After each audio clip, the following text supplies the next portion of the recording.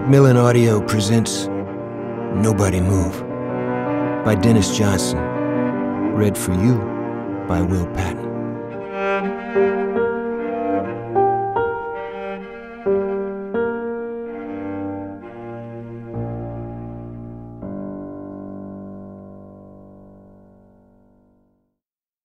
Part 1 Jimmy Luntz had never been to war, but this was the sensation, he was sure of that. Eighteen guys in a room, Rob, the director, sending them out. Eighteen guys, shoulder to shoulder, moving out on the orders of their leader to do what they've been training day and night to do.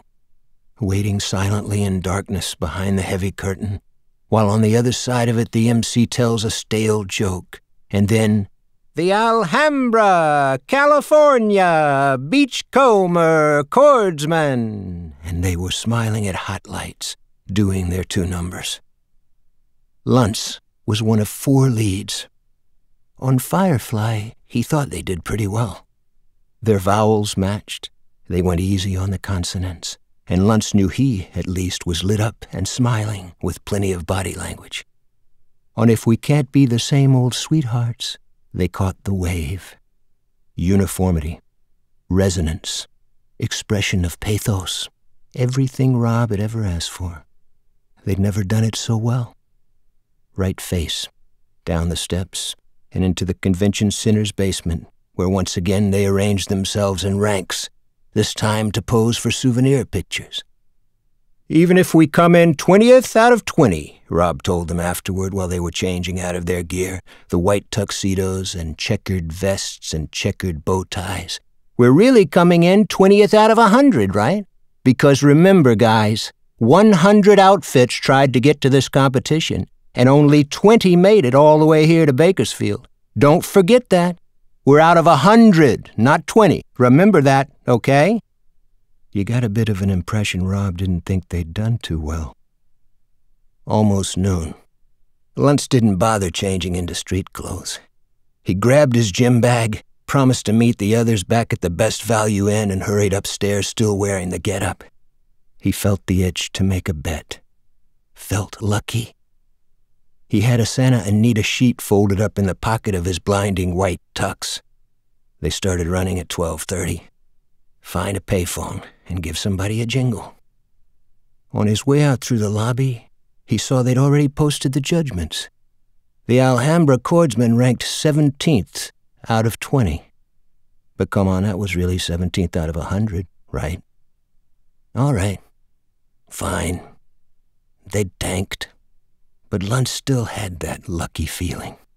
A shave, a haircut, a tuxedo. He was practically Monte Carlo. He headed out through the big glass doors, and there's old Gamble standing just outside the entrance, checking the comings and goings.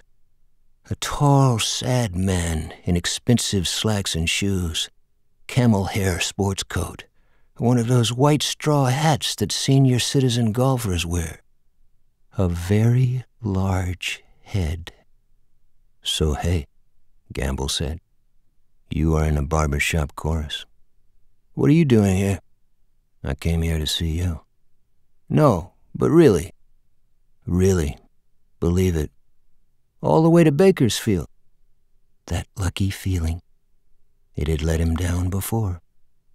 I'm parked over here, Gamble said. Gamble was driving a copper-colored Cadillac Brougham with soft white leather seats.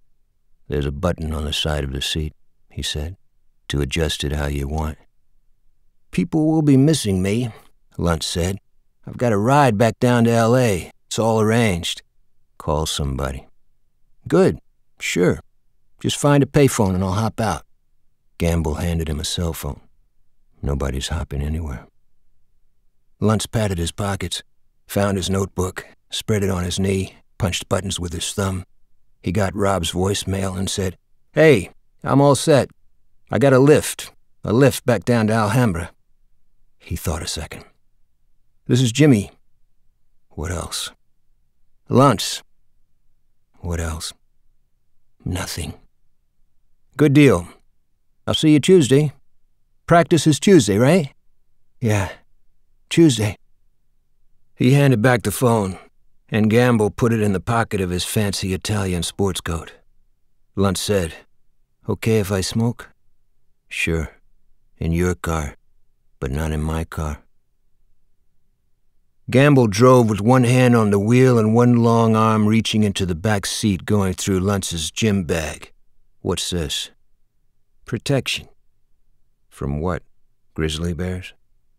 He reached across Luntz's lap and shoved it in the glove compartment. That is one big gun. Luntz opened the compartment. Shut that thing, goddammit. Luntz shut it. You want protection? Pay your debts. That's the best protection. I agree completely, Luntz said. And can I tell you about an uncle of mine? I have an appointment to see him this afternoon. A rich uncle. Coincidentally, yes. He just moved out from the coast. Made a pile in the garbage business. The guy gets a new Mercedes every year. Just moved to Bakersfield. Last time I saw him, he was still living in La Mirada. The garbage king of La Mirada told me anytime I needed money to get in touch, we had lunch at the Outback Steakhouse in La Mirada. Wow, do they deliver. Choice cuts as thick as your arm. You ever try the Outback? Not lately. So, in other words, let me give this guy a call before we get too far out of town. In other words, you can't make a payment. Yes, definitely, yes, Luntz said. I can make a payment. Just let me use your phone and work a little magic. Gamble behaved as if he hadn't heard. Come on. The guy drives a Mercedes. Let me go see him. Fucking bullshit. Your uncle. Okay, he's Shelley's uncle, but he's real. Is Shelley real? She's. Yeah. Shelley? I used to live with her. The uncle of some bitch you used to live with. Give me a chance, friend. A chance to work my magic. You're working it now. It ain't working. Look, man, look, Luntz said. Let's call Juarez. Let me talk to the man himself. Juarez is not a talker. Come on, don't we know each other? What's the problem? Gamble said. My brother just died. What? He died exactly a week ago. Luntz knew nothing about any brother. How do you reason with someone who throws something like that into the conversation? They were heading north. Bakersfield stank of oil and natural gas.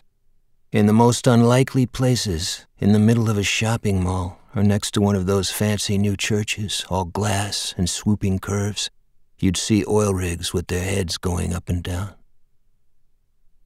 Used to fish up here with my brother, Gamble said. Somewhere around here, anyway.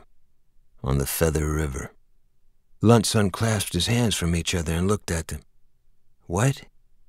Once, to be exact. We went fishing one time. We should have done it more. The road was a four lane, but not an interstate. The clock on the dash said 4 p.m. Where are we? We're just driving around, Gamble said. Why? You need to be someplace? Luntz placed his hands on his knees and sat up straight. Where are we going? On this kind of trip, you don't want to ask where it ends. Luntz closed his eyes. When he opened them, he saw a crowd of bikers on Harleys coming toward them and sweeping past. Gamble said, See that? Half those bikies had Oregon plates. I think there's a convention in Oakland or someplace like that. Guess what? I've never been on a motorcycle. Shit, Luntz said. What? Nothing. Those bikers. Shit, he said. The Feather River. Is there a Feather River Tavern or something? The river's not anywhere around here. It's more north. Guess what? You'll never get me on a Harley. Yeah? Helmet or not. What good is a helmet? The Feather fucking River, Luntz said. Standing at the payphone, Jimmy Luntz punched a nine and a one and stopped. He couldn't hear the dial tone. His ears still rang. That old Colt revolver made a bang that slapped you silly. He dropped the receiver and let it dangle a few seconds. He shook his head and wiped both hands across the thighs of his slacks. He jabbed at the one again as he put the phone to his head. Some woman said, Palo County Sheriff's Department, what is your emergency? A guy, this guy, he said. A guy's been shot. What is your name and location, sir? Well, we're at this rest stop north of the Tasty Freeze on 70, somewhere past Ortonville. Way past Ortonville. Sir, do you mean Oroville? On the nose, he said. He searched with his free hand for a cigarette. Do you see a milepost marker, sir? No. There's these big pines right by the road, kind of behind there. The rest stop north of the Tasty Freeze and north of Oroville. What's his condition, can you tell me? Luntz said. He got shot in the leg. How do you make a tourniquet? Just apply direct pressure to the wound. Is he conscious? He's fine, honey.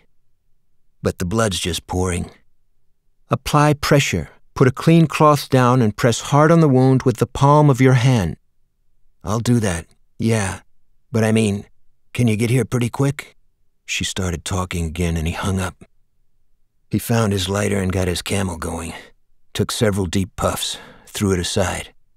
He went across the rest stop under the evergreens to where Gamble sat propped against the left rear wheel of his Cadillac, looking very pale, very large.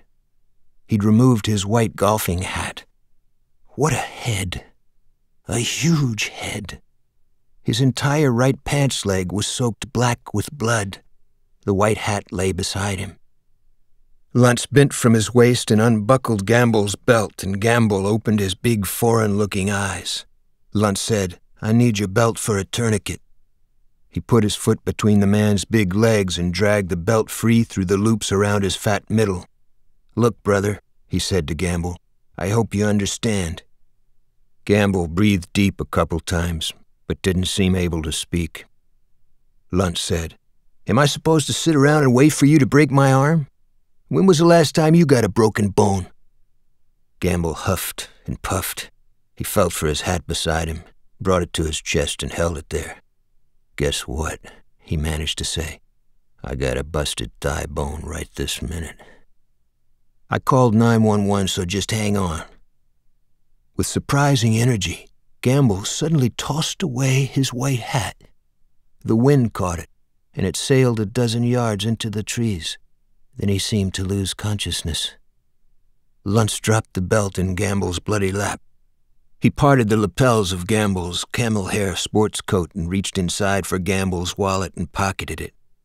He hiked his slacks and squatted and felt under the car where the old gun had ended up, found the thing, and stood up straight, gripping the gun with both hands. He placed the muzzle against Gamble's forehead and rested one thumb on the hammer. Gamble seemed oblivious. His hands lay open either side of his outstretched legs, and his belly went up and down. Luntz took his thumb from the hammer and let out his breath and lowered the gun. Fuck. Put that around your leg. The belt, man. Wake up, man. Gamble's face was like a stupid child's as he grasped an end of the belt with each hand to drag it up under his bloody leg. Through the buckle there, the buckle, Luntz said. It's a tourniquet, he said as he got in the car. He settled himself into the caddy's white leather. He turned the key. He lowered the window and called out, You better move, Gamble, because this caddy's about to roll. He yanked the stick into drive and floored it out of the parking lot and at the highway's entrance slammed the brake hard. They'd be coming from the south, he guessed, from the hospital in Ortonville, Oroville, wherever. He turned north. After he passed a highway patrol car heading toward him fast, lights whirling, he simply couldn't drive any farther and hooked into a cafe's parking lot on the outskirts of a town. He put the caddy behind the building and wiped his face with his sleeve. Sweat soaked his shirt and vest. He touched the dials of the climate control tenderly, stupidly. Couldn't make sense of them. Got out and removed the jacket and tie and vest and stood in the breeze.